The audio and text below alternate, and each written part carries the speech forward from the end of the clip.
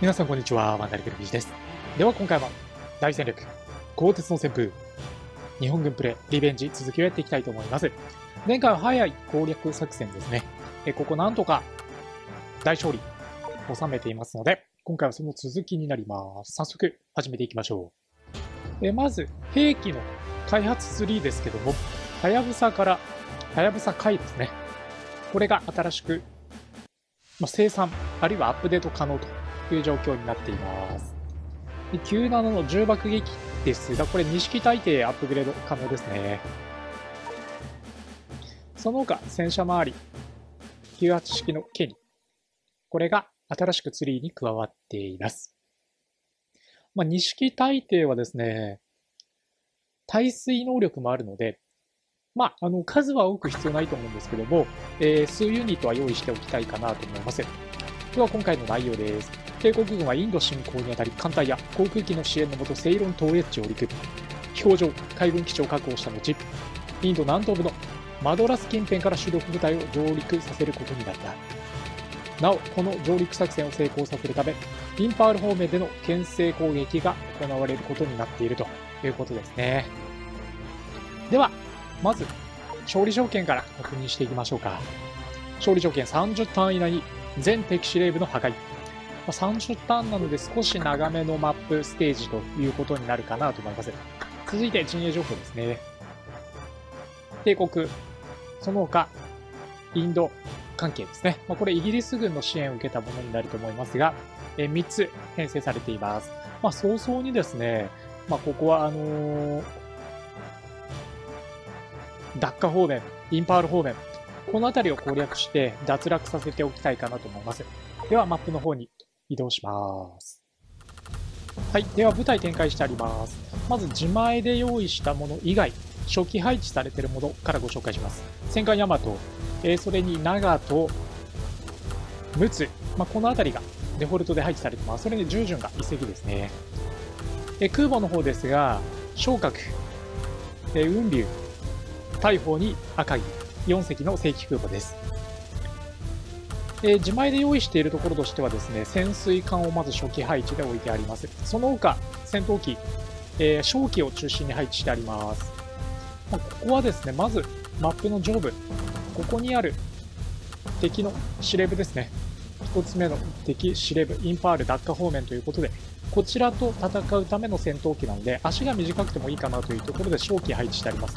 この後後続で零戦を配置して空母に乗せてですね、え洋上をずっと渡っていきながらですね、目標としているマドラス基地から上陸して、えインド内陸部ですね、この辺りの制圧というのをね、え進めていきたいかなと思いますので、今ご説明した内容に沿ってですね、攻略の方を始めていきたいと思います。では、時間を進めていきましょう。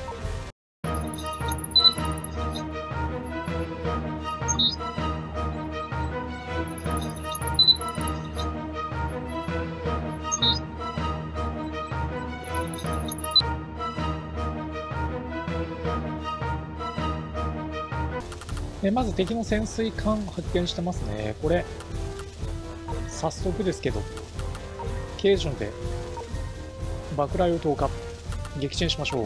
その他、イギリス軍の戦闘機部隊ですね。これも出てきてますので、えー、撃破へと向かってもらいましょうか。撃沈しきれなかったところに関してはどうだろう。錦大帝なんかを出して、えー、しっかり潜水艦仕留めておきたいですね。では、艦隊戦に入ってます。敵の数多いですね。えー、その中で、まあ、軽順、まあ、ちょっとダメージを負ってるので、これは退避させざるを得ないですかね。退避させます。こちら潜水艦と、まあ、あとはいくつかの戦艦、えー、観光艦爆、まあ、この辺りを使って退治していくしかないかなというところなので、まあ、しっかり攻撃を当て込んでいきたいかなと思います。まずは邪魔などうだろう、敵の、えー、戦闘機。これを撃破していきましょう。フルマー、あとシーファイヤーなんかが敵は出てきてますね。まあ、冷戦、しかもここではすでにマックスまで連ドの経験値上げてあるので、まあ、敵ではないですね。しっかり撃破を重ねていきましょう。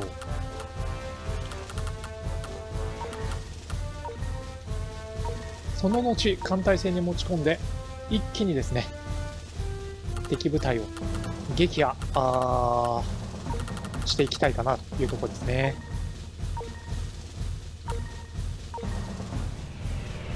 ではこのまま艦隊戦続けます。えまず艦隊戦ですけども、えー、中大破したものはいくつか出てしまいましたが、沈没艦されたものはなく、えー、イギリス軍の艦隊撃破完了しています。このまま艦隊はですね、傷ついたものは一度修復のためにドックに戻って、それ以外はインド洋を渡ってマドラス方面へと向かってもらいたいと思います。インパール方面なんですけども、航空隊が敵基地司令部中心部に取り付いてますので、このまま撃破を目論んでいきます。順調ですね。ではまずインパール方面の敵部隊、司令部を撃破したことによって、全滅させてます。残り2つ、まあ、大陸の方にある司令部を撃破しに行きたいと思います。でも各部隊ですねで、大陸に取り付きつつありますので、まずはこの沿岸部空襲をかけて、敵部隊、防衛についているものを順次撃破するところから開始していきます。まあ、冷戦のね、やっぱりここもまだ有利性保たれている局面なので、まあ、しっかり冷戦を使って敵の防衛部隊を撃破していくところですね。ここでつまずくとね、ちょっと戦況変わってしまいますので、ここはしっかりいい部隊を投入していきましょう。で観光に関しては敵艦隊撃破しましたので、えー、爆弾に武装を変更してます。まあ、いわゆる雷撃、魚雷からですね、爆弾へと乾燥した、まあ、そういうイメージになります。ぐらいずっと雨だったので、全然航空機による攻撃ができなかったんですが、ようやく雨やみました。ここから一気に爆撃開始していきます。まずここですね。えー、敵の司令部に対して爆撃を行っていきます。長かったですね。ここにたどり着くまでが。本当に。爆弾を、ここからジャカジャカ落としていきましょう。で残りのターン数がちょっと減ってきてるので、えー、2つ目、3つ目かな。3つ目の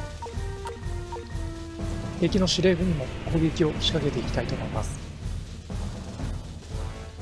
また雨が降ったりするとね全然攻撃ができないよっていう期間ができてしまうのでもう早めに仕掛けていきましょうさあ問題なく2つ目の司令部ですね削ってきてます、まあ、冷戦の有利性がここでもまだまだ発揮されてるなっていうね、まあ、そういう局面ですよね。要塞も撃破して進みましょう。今のところ、えー、なんとか30ターン以内、えー、攻略できそうかなというところですね。現在24ターン目になってます。あと1ターンで、えー、ここの司令部があと2。で上の方にあるここの司令部がですね、まだ10残ってるので、まあ、こっちを重点的にね、減らしていく必要あるかなというふうには思っています。なんとかね、風穴を開けていきましょう。では、これで司令部2つ目。破壊完了とはいかなかったですね。えー、これで完了させましょう、本当に。残り1です。削り切りました。ドガーンと破壊完了です。そしたら残ってる部隊全部北上させていきましょう。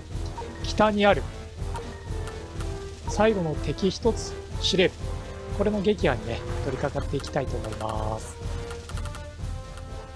敵の最後の司令部に対して攻撃できる、まあ、攻撃ポイントですね。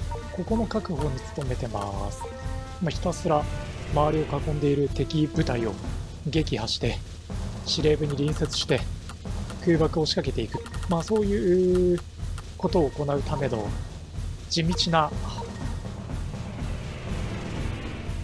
周り部隊の撃破作戦ですね。これも航空隊大量に送り込みますので、まあ、時間の問題で撃破できるかなと思うんですけども、まあ、残りがあと5ターンしかない完全攻略するためには残り5ターンしかないっていうところありますので、まあ、しっかりですね、天候の、まあ、状態に左右されても、クリアできるように、早め早めに仕掛けていきたいと思います。では攻撃していきましょう。3箇所確保したので、3箇所から攻撃してどれくらい削れるかですね。まあ、どうしても雨の影響で攻撃ができないターンが出てくるってことを考えると、もうこのターンで決めたいぐらいなんですが、うーん、ちょっと手こずってますね。干爆隊が来れば干爆隊で攻撃したいところなんですけどね。冷戦しかちょっとまだたどり着けてるものがないので、うん、ちょっとはやぶさ、いや、うん、10ユニット耐久残っている冷戦かな。攻撃していきます。そしたら、まあ、今回のターンで攻撃攻略、まあ、できなかったんですけど、えー、次のターンで攻略できるようにですね、攻撃ポイントを増やせるようにまた攻撃仕掛けていきましょう。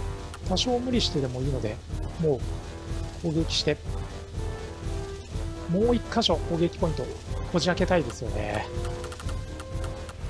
さあ、取り囲んでいる状態で残り27ターン。敵の司令部の残りえー、ヒットポイントが4。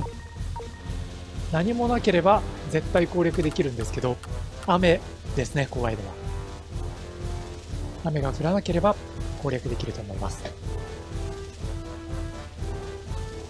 あと夜ですね。夜も残念ながら空爆ができないので、まあ、夜どうなってるかっていうところ、落下三兵が一つやられてしまいましたね。よし、晴れてる。これで、なんとか攻略できそうです。